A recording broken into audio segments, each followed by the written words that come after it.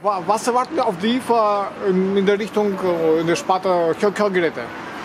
Ja, also ich erwarte viele Interessenten, die sich für neueste, smarte und auch äh, ja, wegweisend vernetzte Hörgeräte interessieren. Genau das äh, stelle ich zusammen mit dem Hörgerätehersteller GN, einem führenden, weltweit führenden Unternehmen vor aus Dänemark.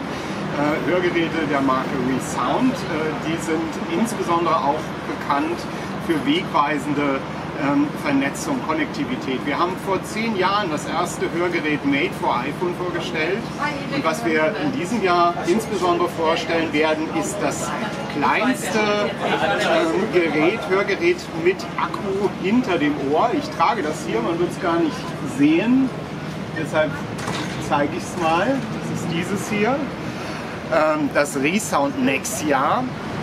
Das ist sehr gut geeignet um in Situationen wie hier, wir sitzen hier am Kuhdamm auf einer sehr lauten Straße, immer noch sehr gut hören und Gesprächspartner verstehen zu können. Es hat einen sehr leistungsfähigen Akku und insbesondere hat es eine ganz neue äh, Bluetooth-Vernetzung, nämlich Bluetooth LE Low Energy Audio mit Auracast das ist sozusagen die neue Ära des vernetzten Hörens, nicht nur für Hörgeräteträger, sondern für alle Menschen, die Technik im Ohr haben. Das wird auch auf der IFA vorgestellt. Da gibt es äh, von der Bluetooth SIG, das ist also die Organisation, die für die Entwicklung von Bluetooth äh, zuständig ist, die Auracast Experience. Auracast ist ein neuer Standard, mit dem man im öffentlichen Raum an ganz vielen Orten, auf Bahnhöfen, im Flughafen, im Theater, hier im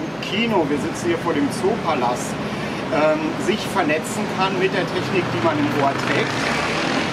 Und dann zum Beispiel in so einem Kino auch äh, Filme in unterschiedlichen Sprachen gucken kann, je nachdem, welche Sprachen man bevorzugt oder im Museum den Audioguide empfangen kann oder an Plätzen, wo so diese stummen Bildschirme sind, sich Sound abrufen kann, um eben auch Sound von den Bildschirmen zu empfangen im Stadion und so weiter.